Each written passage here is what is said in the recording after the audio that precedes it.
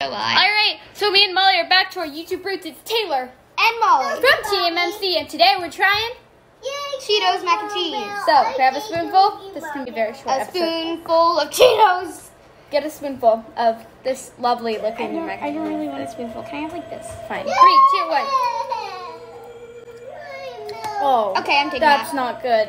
Ugh. It's okay. I mean, How do I explain this? Oh, no. It tastes like barbecued pigs. I expected it to taste like a It tastes Cheeto. like. Wait. It does not. Try it. Yeah, it's not good. Don't recommend. Zero out of ten.